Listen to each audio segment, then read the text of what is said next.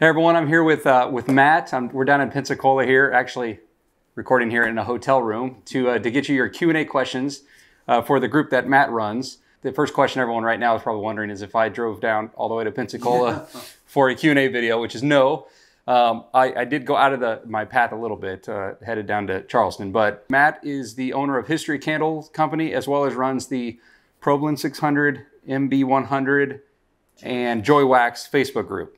Yep. So that being said, if you're not familiar with who Matt is, let him introduce himself. Well, again, my name is Matt Bauman, and uh, I'm the owner of History Candles. Um, and I started this ProBlend, ProBlend 600 group um, basically because that's what I was using for my candles, and there was nothing out there. So I went ahead and put something out there, and I just started building more and more momentum. Um, uh, and there's a lot of questions that, that people ask and people have that are very common and similar. So we thought we'd put a video together to answer some common questions that you have. So the first question um, I'm going to throw out to Wade, and if you've watched his other videos, you already know this, but basically, what process do you use uh, as far as temperatures, heating temperatures, adding fragrance oil, color, any additives, and pour temperature? So I think with most things candle related, you got to break it down into two chunks. So it depends on if you're making small batches or large batches. Um, and if you're curious as to why, it's because if you're doing large scale batches or manufacturing of any kind, um, you, you, you have a more detailed process and things become a little bit more efficient. For example, anyone that's seen my video of using that Cougar pumper machine, uh, temperatures really don't matter so much in that thing. It, it, mixes everything by gram by gram with fragrance and wax. So you have, it, it's just different. It's a different process. And if you're doing large scale manufacturing, you're in a you could be in a warehouse, you could be in a, a more climate controlled location. All of those things matter. So it does depend on the size of batch you're making. But I'm going to assume that for the most part, everyone's making small batches, a couple candles at a time, maybe a, a, case at a time, something like that. In that regard, my simple process for ProBlend 600 is to heat it up. And again, I think there's an acceptable range. I think it's pretty flexible for giving wax. So I would melt it or you know melt the wax up way up to 200 is usually fine. Uh, most people are going to tell you somewhere in the range of about 185 if you're using any additives like uv inhibitor Vybar, and even dye i would tend to add those sooner. When the wax is hotter it's just going to incorporate a lot easier for you. You want to make sure those things get really dispersed throughout the blend. Um, and then fragrance oil again this is going to depend on your how many you're making. And the reason I say that is you don't want your wax to cool too quickly when you're adding your fragrance oil. And so if you're working with a small pouring pot and you've only got a pound or two of wax in there and you add that fragrance oil, it's going to drop pretty quick. And so if that's the case, I would add your fragrance a little hotter. So I would be adding your fragrance at you know the 175, 180, 185 because it's going to drop your temperature your wax pretty quickly. If you're making a larger batch, a four pound pot, or you're doing something even larger than that, adding the fragrance oil in is not going to cool the wax that, that quickly. So you have a lot more time to stir, a lot more time to incorporate everything together. The most important part about this wax, in my opinion, because it is forgiving on what temp you melt it to and what temp you, uh, you add the fragrance. To me, the most important part of this wax is the pour temp. The lower temperature you can pour your candles and get away with it, meaning it's got to still be able to pour. Uh, you don't want things that are instantly cooling. You don't want it to get so thick that it's hard to pour to the pouring pot. You don't want to be pouring at like 120 degrees, for example. But the lower you can pour and get away with it, the better. You'll get smoother tops, you'll get less shrinkage, you'll get less issues on the top. So I would say for most people, if you can pour anywhere between 140 and 165, somewhere in there, it depends on your jar too. Yeah. Certain jars hold heat better and will slow, you know, slowly cool better. Certain jars that are wider than they are tall tend to have less problems. That was a super complicated answer, probably. that that wasn't simple at all. So, and the reason for me is because I do all these variations in different batch sizes. Yeah. So maybe, maybe Matt, if you can say, in when you're making your candles, what size of batches you're typically making, and which in those ranges do you typically pour? That might so, be easier. Yeah. So I do batches of eight and, and, you know sometimes it's four. Like if it's a if it's a um, candle that I don't sell a whole lot of, but I've got to have some stock, I'll just make four of them. So, you know, I run into um, heating or, or cooling too fast when I'm making the four versus the eight. Yeah. So I usually heat up to 200 degrees. I just want to have time, and it doesn't hurt. It. I can go up to 205. It doesn't hurt a thing with this wax. anything. Yeah, um, because I like to add my fragrance oil like right around 185, pretty much every time. Yeah. Um, That's by the way, not to cut you off. That's the that's what I would do for anyone starting with almost any wax. Just it's the easiest thing to, to, to remember to do. Most wax manufacturers are going to recommend that to you.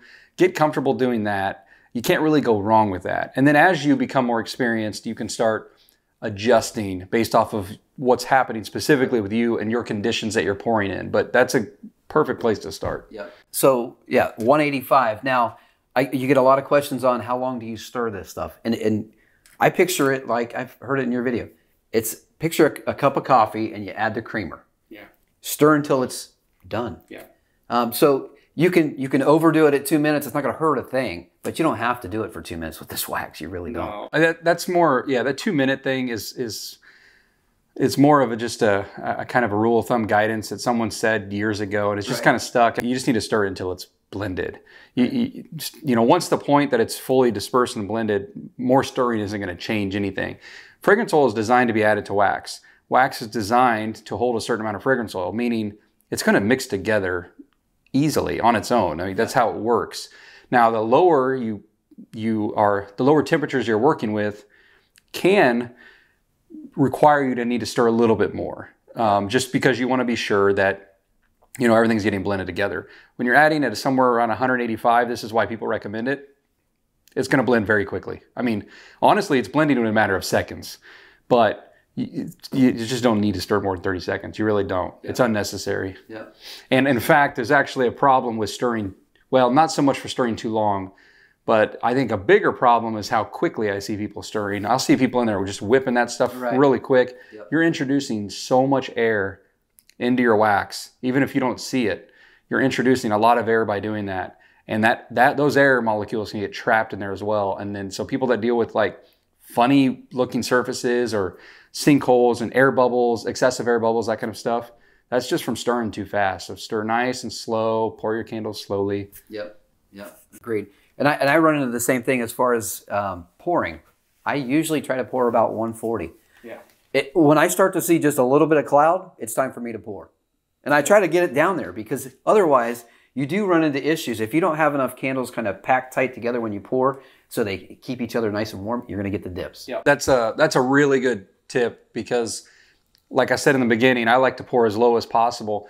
If you go to anywhere anywhere you buy this wax, even the manufacturer of the of these waxes will tell you, "Oh, we pour somewhere around 165." That's just kind of the general rule, and that will work in some conditions, and it will work with certain jars. But the lower you can pour this, you're going to get much smoother tops and results. Yep. Now, you might be wondering, and I'm curious your thoughts on this. You might be wondering, well, is that going to impact jar adhesion? All right. I've got several ways to answer this. My first one would be don't worry about jar adhesion. Like, I, know everyone loves to, to aim for it and to see it, but you can only control it for so long. As soon as they leave your hands and sit on a shelf or uh, get boxed up or sent to a customer, you have no control over it. If a wax is going to shrink or pull away at some point, it's going to happen. You can make it look perfect, but it's probably just going to come back later. A lot of waxes, like ProBlend 600, that are single pore waxes, are designed to have minimal shrinkage. The problem with minimal shrinkage is it's arguably worse than all 100% shrinkage. Right. And that's why if you make a lot of candles, one side of your jar looks perfect and the other jar looks not. It's because it's cooling kind of unevenly. And so that's a long-winded answer to saying I wouldn't worry too, too much about trying to control jar, jar adhesion, but more importantly, pouring at a lower temperature can actually help that issue anyways, um, especially if you're someone that's pouring in a nice controlled temperature environment.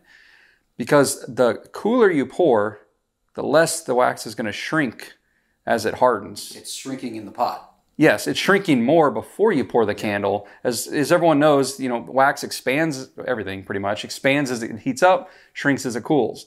Well, if you narrow the gap between your pour temp and the uh, so- solid temp of that wax, it's less time for it to shrink. So you can actually help that problem. Not to mention, what, which is actually why the top of your candle, when you pour cooler, is much flatter. and you have less dips around the wick. If you're getting a lot of dips around the wick like this at the top of your candle, try pouring cooler. Yep, and watch the ambient temperature. I try to keep my pour temperature, I try to keep it like 75, 76 degrees. That's probably more hot than people would use usually do, but um, it, it, does help keep the, the tops does. nice and smooth. Yep. So that was a super long answer to the first question, but the first question was very yeah. wide wide open. It's the basics, and you know, if you're just starting out using this wax, this that's the process that we use. Yeah, yeah, and actually, let's simplify it real quick because I threw out a lot of extra information that I realized after I was going too long. If you're starting with this wax brand new, any of these waxes, I would say heat to 185 to 200. Add your fragrance oil between, I'll say 175 and 185, somewhere in that range. Pour your candles as cool as you can Try to get as close to 140 as possible, yep. and then adjust. Adjust from there. And you know, if you if you read what the manufacturer is going to tell you, eh, whether you're looking at the Flaming Candle website or whatever you're looking at, it, it, what he just said is not what it's going to tell you. But this is just based on experience. And a lot of what I'm telling you is from working with the manufacturer, the wax directly. There you go. The suppliers are going to give you ranges that are good, solid ranges. And it's not it's not that they're wrong at all. And they're the safest answer is what yeah, I'm saying. Right. It's more about experience and learning from others, like what we're doing right now, that'll help you kind of fine tune and dial in to get better results. Yep. So, but it all comes down to your own testing as well. So Jen asks, would you recommend these waxes for candle scent or pouring bar? So mm, I can kind of oh. take that one. Uh, no, I wouldn't recommend it. I mean, you can do it, you can use it, but essentially wax melts is what she's asking. Oh, okay. oh, no, no, no. I'm sorry. Candle center porn bar. I was thinking they meant one of those candle. Well, I'm not entirely sure what they mean. It, it could be. If you meant wax melts, they, no, no, because it, it, it's too soft and it'll stick to the clamshell. Um, but if you're if the, and if that's what you meant, and you want to look for a similar wax to ProBlend 600 or whatever, then look at ProBlend 650, Joy Wax, or MB 150. 150. Those would be the three that are better for wax melts. If that's not what you meant, and you're really asking about, I'm thinking she meant maybe a candle bar. Candle scent bar. I think you're right. Which, if that's the case, sure. I don't think it really matters. Um, if, if anyone's curious what a candle bar is, it's where uh, it's like a storefront where people can come in, choose their scent, and make a candle right there in house, and then they get to take it with them. The problem with those is they don't have time to cool. And so you got two options. Go with the wax, it cools much, much, much faster, which could be most paraffins or even IGI 6006, or let them come pick it up the next day or a couple days later. Yep.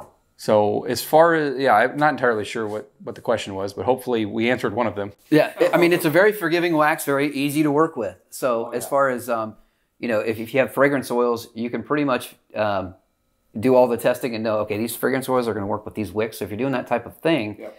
it's a, it's pretty easy to do. Where do you get your ProBlend 600? Your wicks, jars, FO dye from. So ProBlend 600 specifically, if you're buying it from a distributor, it's going to be the Flaming Candle. Um, Maker's Blend 100 is is uh, Midwest Fragrance, and then Joy Wax is Nature's Garden. Yep. Same wax.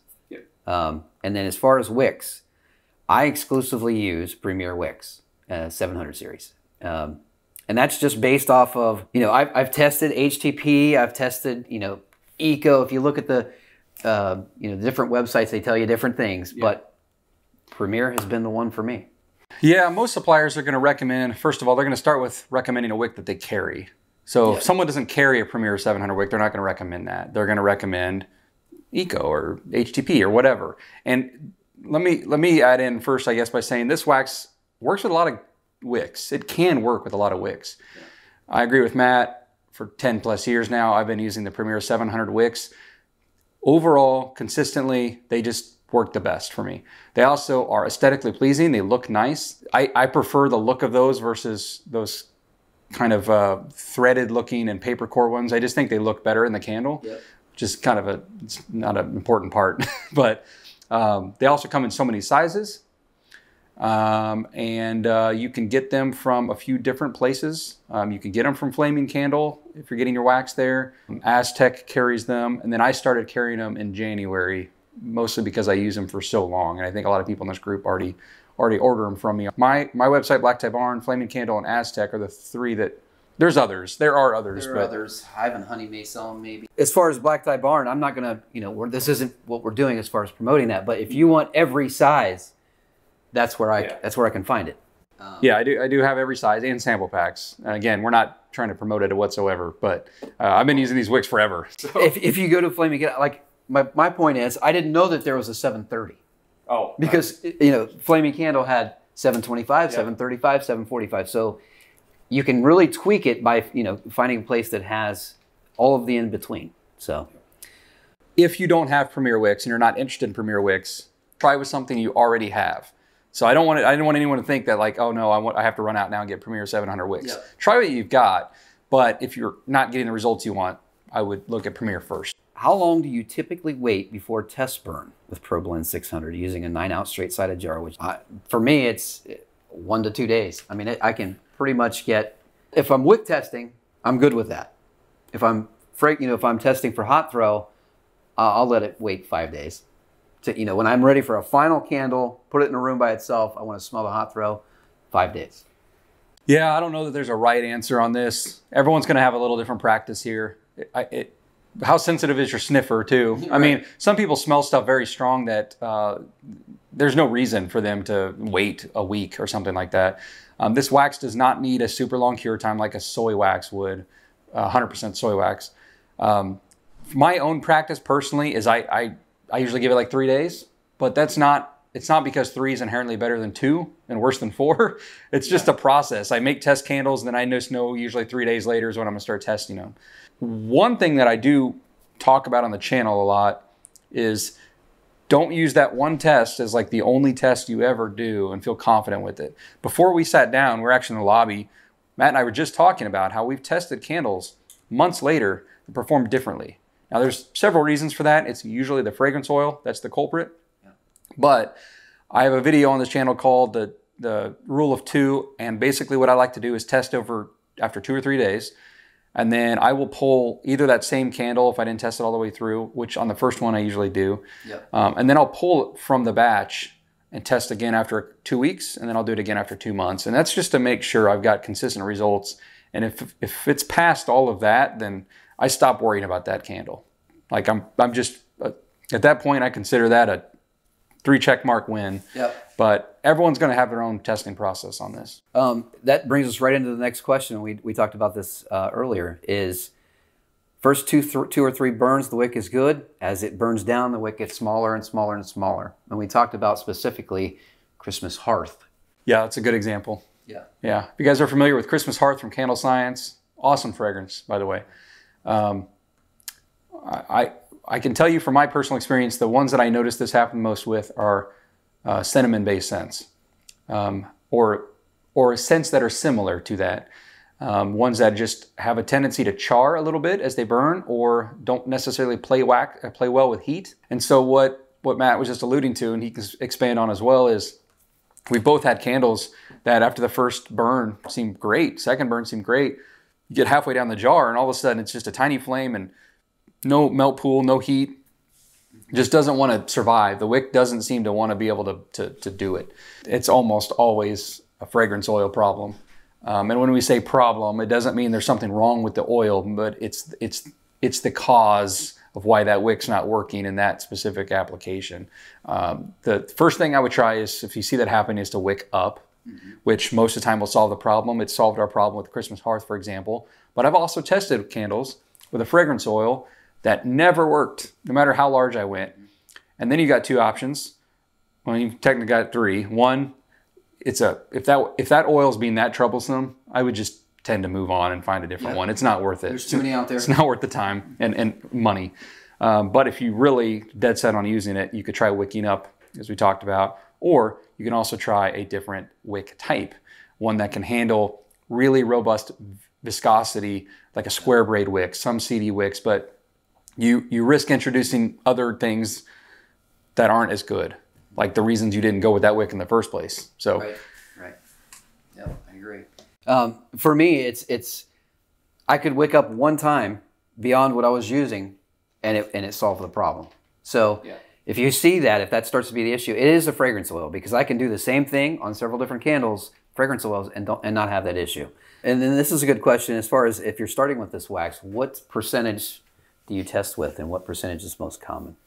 You, you want to start? You... I, I can start it. Um, so I always start my testing at nine percent because it kind of gives me Mine a would've place. been the same answer. Yeah, it kind of I can go up or down from there. And when I say go up, I'm not sure I'd go to nine or ten. It may be nine and a half. Like I'm I'm tweaking it at that point, but I start at nine. But I do have some you know thicker fragrance oils that I've got to drop to eight. I've even got one that's seven and a half percent. Otherwise, the wick's not going to perform right. But once I do that, and you'll notice it when you're you're testing and you're getting you know larger mushrooms. It's not necessarily that it's the wick that's the wrong size. It's it's how much fragrance oil you have in it, and it's just not burning it. Especially if it's tough to burn fragrance oil. Yeah. Um, and most fragrance oils, you probably won't notice a difference on how it gets wicked in, in mushrooms and stuff, whether you're at seven, eight, or nine. But the ones that are kind of troublesome and picky, you'll certainly notice it. Yeah. Um, my answer is the same. I start with nine percent. Now, I in some videos for testing a new scent for a supplier, like I'm testing Candle Science scents or something like that. A lot of times I'll do ten for two reasons. It's just much easier, much quicker math for me to make some sample testers, and I'm just trying to test in some of those videos the, the scent itself. I'm not really trying to wick test. Um, but for actually testing my own products, I start at 9% as well. In my personal experience, you will get different answers. Again, it, this is very, the hardest question to answer is anything related to scent throw because it's so subjective. And I might think something smells strong, Matt might barely smell it, vice versa. I might think something smells good, he might hate it, and vice versa. Uh, it happens all the time.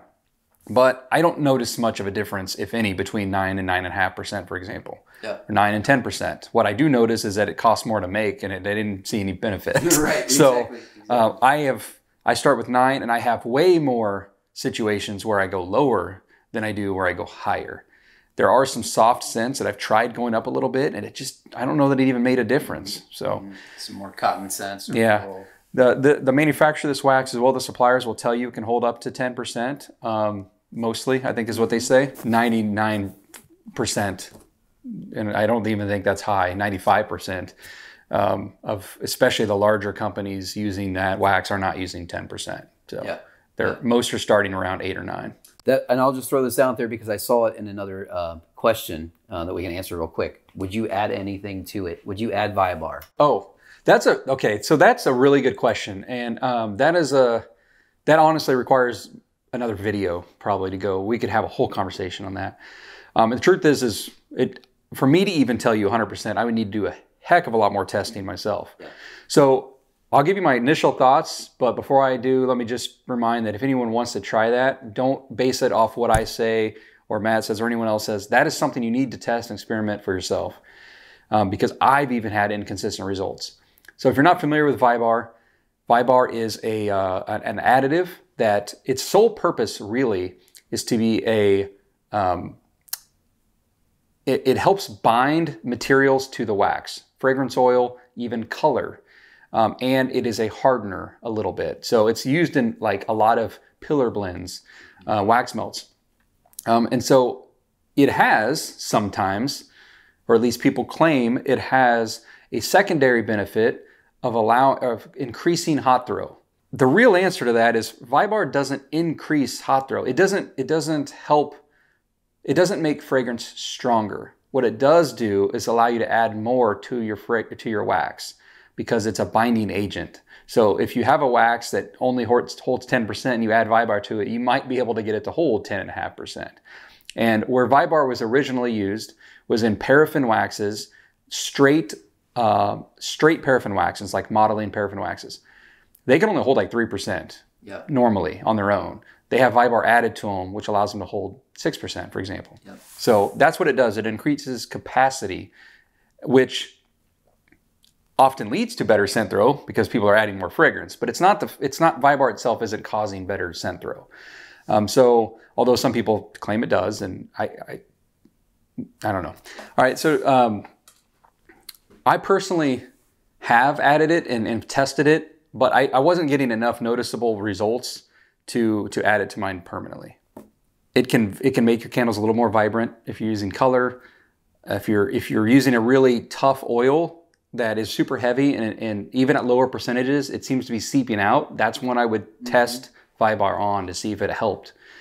But uh, again, I think as a new candle maker, you want to keep things as simple as possible. And if you're finding t- you're having to do all these like tips and tricks to get something to work properly, I would just change oils again. It's the easiest solution. Yeah, and like you were saying, if you're just starting using this wax, I, I wouldn't even mess around with Vybar. You're going to have to do more testing. The candle itself is going to cost you more because you're trying to add more fragrance oil into it. And Vybar. And, and Vybar. cheap. Right. So, um, if you're if you're experienced and you want to try it on a couple of different scents, Yeah. maybe.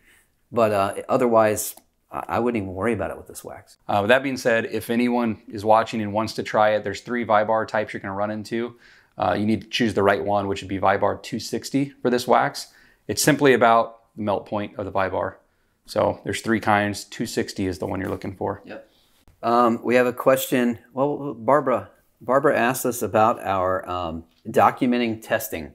Now, this could be for any candle. It's not specific to to wax or to this wax. Um, but how do you document? I've seen in your videos you have labels on different candles, that type of thing. But what are you doing behind the scenes to document? So uh, another really good question. Um, I, I'm doing several things, and that's been the inherent problem. So I think I've mentioned to you, um, I actually am planning on putting creating some uh, tools. I guess is one way to say it for everyone to help um, both a digital one and a physical like testing log type thing to help people do this better and track it better. But for the most part, um, if I'm doing just simple one-off testing, like I'm testing a bunch of new oils and I'm not testing a, like making a ton of candles, I'll just put something on the jar itself, Yeah. like a testing label, um, or even even just a permanent marker. Sometimes you can just depending on the jar you're using, um, you can test it that way. Um, something else I've done in the past, which I really did like, was like asset stickers that had numbers on them, or barcode or something. Put those on your jars, and then that number, that asset sticker number, like a four-digit number, get yourself a log and write that number and then everything about it. And the benefit of that is you've got a log that has all the information, but the only thing you got to worry about on a candle is just that that one sticker, that one number. And no matter where you move it to, there's no other labels to worry about. You don't have to remember anything at all. Just go back to your logbook, find that number, and if you change wick, make a note of that. Here's my, you know, it's just it's one way of doing it. You don't have to use a number. You can just you can name the candle, whatever you want to do. The other thing, the other place I do it in is is wherever I'm making my keeping my recipe. So I also do it in CraftyBase, which uh, I will make a test product, and then in the notes of that, um, I will put in it, it tracks the recipe. So I'll put whatever I made the product with, and in the notes section, I keep track of um, the wicks that I'm trying and all of that, and any feedback or not feedback, but observations. So So similar thing. I do, I do label the uh, jar, but I use CraftyBase pretty exclusively. Just just it, it just helps me keep track of what I've done. It also you know takes care of what I've used. Yeah, Um, so it, it for me it's the easiest way to keep track of everything. So I use all Crafty in one Base for it. Yep. yeah. Yeah. And if, if you're new to that, there, um, it's linked in every video. I'll have it below. I've done overview videos if you've never seen one before.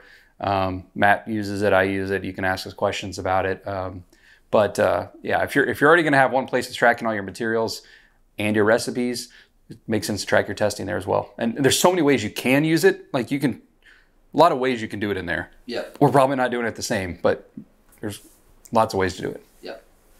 All right. Next question is all about soot. Uh, what is the best way to deal with soot? Because sometimes you're going to get soot. So how, what are your feelings on that? Well, my feelings on soot in general is that most people freak out about it too much. Um, anything that burns can soot for the most part. Um, and a little bit is perfectly normal and unavoidable. It can be caused by environmental conditions. It could be you could have it around a fan or a, you get some kind of draft. Certain fragrances can cause it more. Certain wick types can do it more. Long story short, if it's minimal soot and you're just getting a little bit here and there, Yeah. every once in a while it flaps off, or you're getting a little bit around the edge, it's normal. Would not worry about it at all. Now, that being said, I think this wax is actually much better. I would say this one falls in the middle. Yeah. Middle ranges as far as waxes. So it, certain waxes are brutal about it. Like I like 6006 is a good, solid, high performing wax. That one soots way worse than this does. Way worse. Um, a lot of people think soy waxes don't soot. They do. You just don't see it. It's, white and gray, um, and still you even get black soot on those too. Um, a lot of things contribute to soot, fragrance, wick type, all sorts of stuff. So, suggestion one: don't worry about it as much. If you're getting excessive and it's flapping constantly, um, change something. probably your wick first and then look at the fragrance oil. As far as controlling it and trying to make it better, proper wicking and wick sizing is the number one thing that's going to do it. Yep. And where you're going to see most people have, um, and jump in anytime you want because you're probably thinking the same thing, but where most people see issues with soot is on jars where they're using one wick, but it's a large wick. So it's like a wider, kind of a wider jar, and they're having to use a really large size wick to try to do that. It's just, it's a really tough job that wick's trying to perform for that much wax and that size of a jar all by itself. Yeah. And that's when you start tinkering with is this the time to start trying two wicks instead, two small wicks instead? Two small wicks is going to be considerably better at wick, soot control and fragrance throw Fragrance throw, yeah. um, than one wick trying to do the same job. The problem is, is there's a certain range size of jar where it's too small to do two wicks, but almost too big to get good optimal burn with one wick. It's the it the Libbey tumbler three Yeah. point the three point two five Yeah, inch or whatever 1.525. is the worst size to, to wick with any wax for the most part, but especially a tougher burning wax. So um, that's my general thought on it. Yeah, uh, same thing. And the other issue could be where the candle is burning. I mean, if you're in a room that has a ceiling fan going, even at a slower speed, you could have, you know, it could start flickering and you could start getting some soot. But typically, if that's not the case, you, you've got the wrong wick if you're getting too much. Yep. Um, also, the temperature of the room. No one thinks about this as far as soot, but the colder your room is, the, the colder and harder the wax is, which makes the job of the wick harder to burn. So if the wick is struggling more to get a good, easy burn, it's going to flap more, it's going to bounce more, you'll get more soot because it's it's it's not a very efficient burn. Where if you're burning in a really warm environment, the wax is already soft. Yep. It makes the wick's job so much easier. So you'll have a lot less problems. So that's why we say sometimes don't worry about it. You can't control it. You might test burn a candle at home and get perfect results. You send it to a customer, like, well, this one isn't performing great. Different environments. Do the best you can. Yeah, if you're seeing some at the top and you see, you know, a little bit, expect that. But if, if the, the top of the jar is black, it's the wrong wick. Yeah. And especially as the candle burns down further, obviously, because more is going to get caught on the walls. That's normal. It's um, it's not going to just escape perfectly out of the center. Like you said, if you're picking up a jar and it's completely black, just all over, that, that's a problem. That's a problem. All right, the next question is about yellowing candles um, from the UV, UV light. Now, I know you use UV inhibitor. I use the same thing. Um, now, I, I've also switched, or mostly use an amber jar, so I don't have to worry about it as much. Yep. Um, but I, I still make, you know, some mason jar candles and stuff like that, so I do have to use a UV inhibitor. You'll get a lot of different answers, and I don't even know if necessarily Matt and I'll give you the same answer on this one. I used to use UV inhibitor more than I do now. And the only reason I say that is um, I have products that are turning over much faster now, inventory. If you're making candles and they're selling and getting used quickly, it's there's really no purpose in it. UV inhibitor is to help delay, it, keep your candles looking, uh, keep your colors looking um, the original bright, vibrant color longer if they're exposed to sunlight. If they are constantly being stored in a dark closet, or as soon as you make them, they're selling a week later and getting used, you're really not getting any benefit out of it. And if you don't dye your candles, you don't have to worry about it at all, Right. in my opinion. But if you do color your candles and, and you want to use UV inhibitor, here, this is it's kind of sound like strange advice, but if you're going to use UV inhibitor, use it all the time, mm-hmm. even in products that don't need it. So even if you have certain fragrances that have no color, you don't want to have to change your recipe again later. Right. So if you're going to use UV inhibitor, I talk about this in one of my videos. Just use it all the time. Make it part of your recipe. If you don't want to use UV inhibitor, then don't use it. Now, there's exceptions to that, obviously. Uh, maybe you only normally make non-colored candles, but for a certain wholesale customer or private label customer, you make them something specific. Then go with whatever makes sense. But as a general rule, keep your life simple. Don't have too many different processes. If you're going to use it, use it all the time. If you're not going to use it, don't use it. A couple things of clarification too. Uh, UV inhibitor is meant to protect your colors from exposure uh, to UV light, like sunlight and certain lights. It's not going to have any or very minimal impact on things that are caused by vanillin and other fragrance oil notes because those aren't that's not UV. UV inhibitor is is not meant to do that. In fact, I'm headed to the candle conference candle National Candle Association conference here in a couple days. That's actually where I'm headed in Charleston. And this will be a whole seminar. This will be a whole topic conversation. You got more thoughts on UV inhibitor? It is optional. Even if you color your candles, it's optional. But uh, if you if you're dyeing your candles, I would recommend it. The other thing, though, real quick, everywhere you get it, it's going to call it UV inhibitor, but they're different.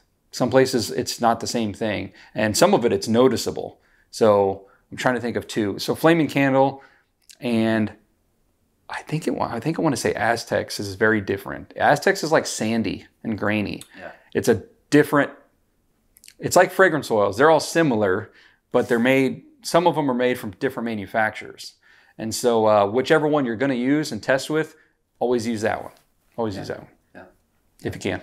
So I want to go back to, I. Uh, this is from the beginner, the beginner person. We have a question about what jar would you start with? What wick would you start with? And I can go back to when I I first started making candles. I started with 6006, and I I love the hot throw, but it is a tough wax to start with as far as wicking when you're first starting out. That's tough. So if you were to say, um, very first time I've ever made a candle, what jar with this wax and what wick would you have them start with? Honestly, I can't think of a better wax for a beginner than the three we're talking about today. Which, at least for ones, is going to give you good overall around performance Yeah. and also easy to use. I, I, I don't I can't think of a better one I'd recommend right now. Jar, for simplicity, I would either probably say the nine ounce straight sided jar to be honest, um, or like the the short square mason jars. Yeah. One of those two. I a lot of people like to start with the jelly jars, just not too different than the nine ounce jar, but it's too too narrow for me. It's a little too too narrow. I agree. I'm not a big fan of it. It looks I also don't like the way they look. You're That's right. just looks personal. like uh, I don't know. Somebody made a bunch of candles in their living room and now they're selling them at the flea market. Yeah, it, it looks like you're buying jam. I Yeah, mean, it's what it looks like to me. And so there is a place for it, especially if that's your your branding, a niche. Yeah. Um, then it totally makes sense. But um, I, I actually think those are trickier to wick than the nine ounce straight sided jar is. Anyways, they're too too small. So I would say nine ounce straight sided jar, or um, the the square square mason jar, preferably the smaller one, not the tall one. The tall one can get tricky. Ones I would avoid if you're new are 10s. they're much tougher to wick, Yeah. and they're just they're they're different. Um, and then while we like double wicked candles and larger jars, I would avoid that at first. Yep. Um, keep it simple. So so stay under the three inch inside diameter. Yes, the straight sided jar is like what 2.8, Yeah. 2.83, something like that.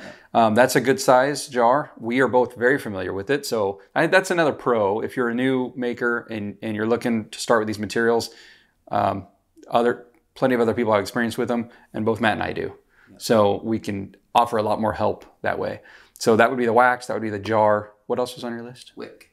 Premier 700 would be the be uh, what I would recommend starting with. So if you're with. using the seven or the, the nine inch nine Oh. straight sided, what's your range there? Uh, okay, so the range that I would test would be 725 up to 745. But I think you're going to find 80%, if not higher, probably being a 735, Yep. for example. And then you can make tweaks and adjustments from there. But that's the majority that I use in there. It's the majority that Matt uses, I believe. And then there's certain times we've been able to go up or needed or needed to go up or been able to go down on a few. That's the range I would start with. And um, there might be more on your list, but this kind of made me just think this might be a good time to mention this idea. I've been kicking around the idea of building some kits for brand new candle makers with waxes and materials that I think are really good starting points and ones that we're familiar with and ones that we know that just work um, and give people a better head start. Yeah. And so if anyone watching this is interested in that, let me know. Um, I've been kicking around the idea and I have no idea when, when I'd get to it, but if there's enough interest in it, I'll make it a priority. Well, I, you know, like I said, I started out in 6006 just because the first video, one of the first videos I watched, you made, uh, I think it was the Blue, Spruce. Yep, four candles. Um, but had I had I known about this four or five months earlier, once I once I discovered this wax, I'm like, If you was, if you would have watched my next video Right, right. first, yeah, because I, I I think most of the videos I've done since that point have been a lot of six thousand or six ProBlend six hundred videos. yeah, Um, yeah, six thousand six is a great wax. It's just tougher. I would say don't you know it's it's more of an inter- intermediate wax. I would say. yeah, for sure. But once I discovered ProBlend 600 and, and uh, started using it, I'm like, oh my gosh, if I would have started with this, I could have really advanced faster. I agree. And and look, I want to be totally transparent about something too. You know, there's certain people that say that they've they've tried this wax and they weren't getting very good hot throw. And if you go to one of these suppliers' websites, you'll see mostly good reviews and the occasional people that say I didn't get good hot throw. There's so many things that can lead to that. So don't let that deter you. You're never going to find a wax that's 100% perfect all the time. Um, it could be the fragrance they're using. It could be um, maybe they just have a hard time detecting scent. It could be where they're burning it. If you're trying to burn a small candle in a large open space, that could be it. There's so many reasons. Also, we were talking about this before we recorded this. Not every fragrance is going to be a strong fragrance, uh, and not every fragrance can be a strong fragrance in every wax. So if that happens, don't. My advice is not to try to recreate the wheel and say, all right, I need to do all new wick testing. I need to whole, find a whole new wax and start over. No, because you're going to just constantly, it's a zero sum game. And you're constantly going to be chasing your tail doing that because you're never going to be 100% happy. If you have a fragrance that is not strong and you don't like it, just ditch it and move yeah. on. Yeah. How many have you just said, all right, I'm just scratching off my list. It's not one I'm going to keep. Shelves of So them. do I. So it's normal. It doesn't mean you're doing something wrong. It just means that this one isn't isn't going to cut it. Right. This doesn't pass our test and move yeah. on. You there are hundreds of thousands of fragrance oils to choose from. Don't change everything because you're struggling with a handful of them. Yeah. My advice. Yeah. And if it's one that you really like and you want to use because you like the scent, just find something similar. Yep. That's where Facebook groups or anywhere else can come in handy tell everyone I like the scent, but I'd like to try a different version of it, or anyone can recommend something similar to this, you'll get tons of suggestions, tons of them. I think that's all the questions on my end. You, can you think of anything that you want to use to button up? Just um... not real. I mean, most of those questions covered, I think, stuff that I would have just by default thought of talking about. You know, we didn't really. This isn't necessarily a question, but I think it's worth mentioning. The cost of this this wax is good too. Yeah. Um, as far as the price of waxes go, it's on the lower end compared to most. Yeah. So not only you're looking for beginner friendly in terms of usability, it's also beginner friendly as far as affordability. Right. and that's really important for new candle makers. Um, it is more expensive than it was a year ago. It definitely was more than two years ago, but that's across the board with everything. So once again, if you're looking for a good place to start, this is a, a good wax. There are plenty of good ones out there. We're not trying to say that others aren't good. I can't. I mean, how many? The number of waxes I use on a regular basis and are testing and trying on a number on a uh, on a constant basis is is kind of crazy. But every time someone asks me, I'm stuck, I'm brand new, or I'm stuck, like what, what should I do? I just tend to come back to these yeah. ones and say, well, start with this, go back to the beginning, yeah. keep it simple. Well, this has been fun. I've enjoyed it. Thank you all for sending in your questions. Um, yeah. They're on Matt's group, and if there's any we didn't get to, or you just didn't get a chance to ask, uh, we can. I, am not going to drive back to Pensacola every time to do one, but uh, we can do we can do some yeah. Zoom remote ones as well. well actually, we were going to do that originally, and then I told Matt I was headed down this direction. So it's like, yeah, let's just wait till I get there. It'd be more fun. So if you think of any more, let us know. We can also follow up. You don't have to wait to the next video. You can ask questions and we'll follow up there. I'm, I'm in the group too, by the way, if you yeah. didn't know that. So, um, and if if you're on, watching on my channel and not familiar with the group or who Matt is, I'll leave that information. So if you want to check out their group, you can. Awesome. But uh, well, thanks, Wade. That was yeah. awesome. No, this was a lot of fun. We'll do this again soon.